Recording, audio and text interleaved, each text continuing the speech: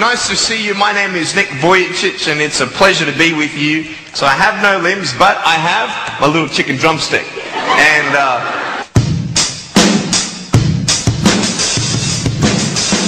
so it's like, you like that? That would be really cool if I could get this and get some techno going like, here we go. One, two, three, four.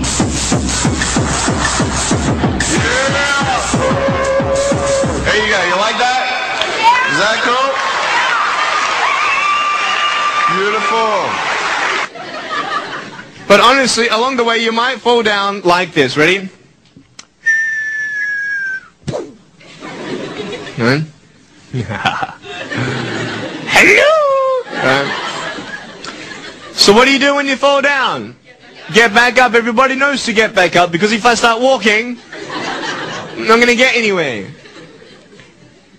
But I tell you, there are some times in life where you fall down and you feel like you don't have the strength to get back up. Do you think you have hope? Because I tell you, I'm down here, face down, and I have no arms, no legs. It should be impossible for me to get back up, but it's not. You see, I will try 100 times to get up, and if I fail 100 times, if I fail and I give up, do you think that I'm ever going to get up? No. But if I fail, I try again, and again, and again. But I just want you to know that it's not the end. It matters how you're going to finish.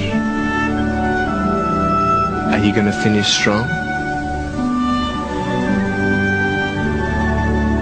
And you will find that strength to get back up like this.